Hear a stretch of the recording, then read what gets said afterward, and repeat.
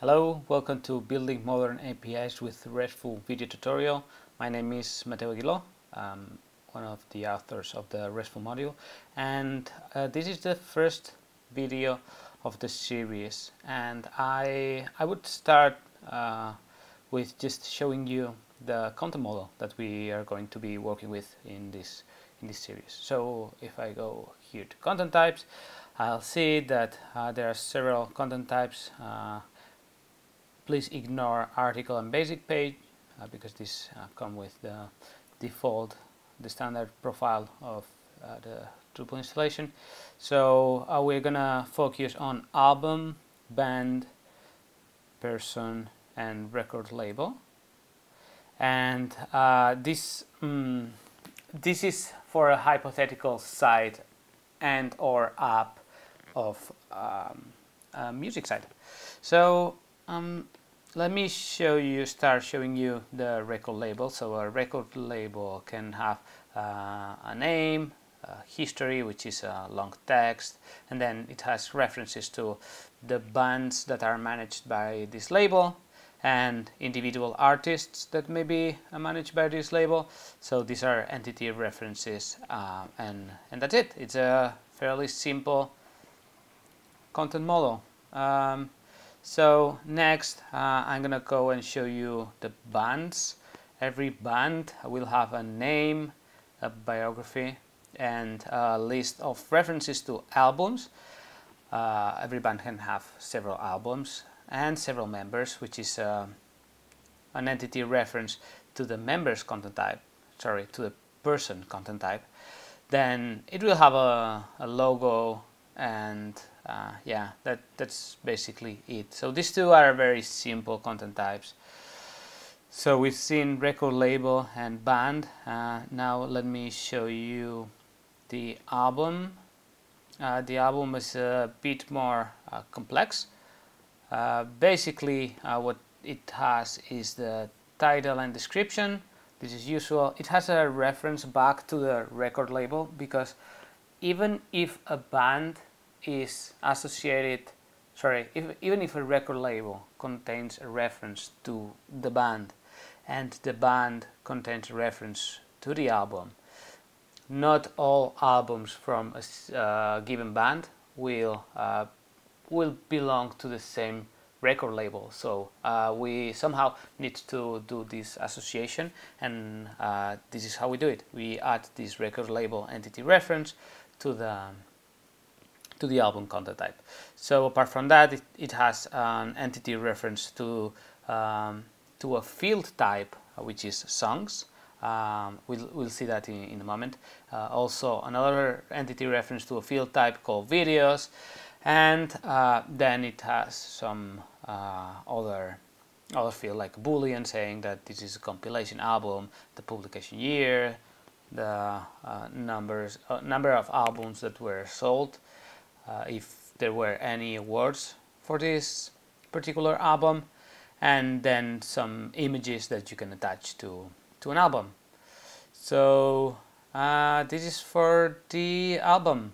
And uh, finally I think that I haven't showed you the person content type. So this is going to be uh, for individual artists or band members. So mm, this will have a common name uh, some artists go by an, an, alias so this is the place to, to put the alias.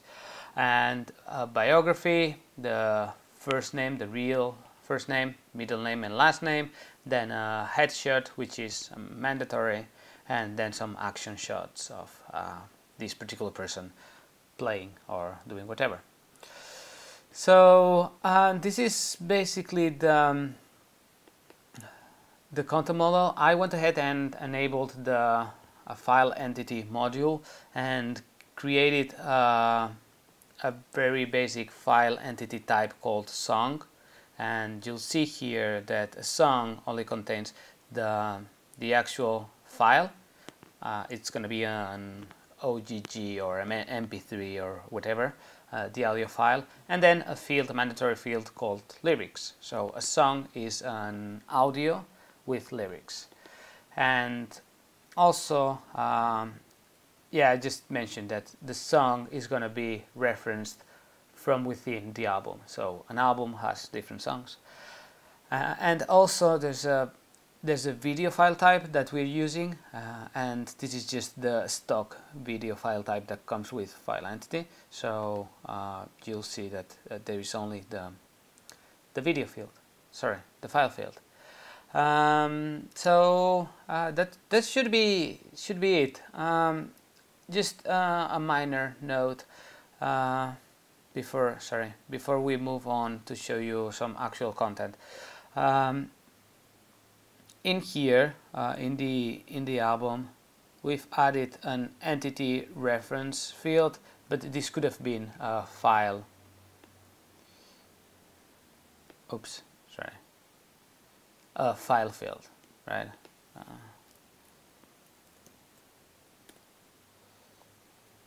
so if we were to create this I'm gonna delete this field afterwards. Um, you can manage this and uh, just you know give it OGG and MP3 I don't know. Uh, whatever uh, so this would be also an, an alternative I'm gonna go and delete this because we don't need this um, but yeah, I went ahead and I used an entity reference because uh, the songs one uh, it's gonna need some it's gonna need some field attached to it to to store the lyrics. So cool. Um, I hope this all makes sense and uh, let's go and start exploring some real content. Some uh, there is the record label uh, with its its history here and the, the bands that are managed and the individual artists. So uh, if we navigate to the band, we'll see that uh, here's the name of the band, a little bit of biography for the band, and then its members and its logo. We go to one of the members. Um, oh, yeah, uh, there's this album, the album too.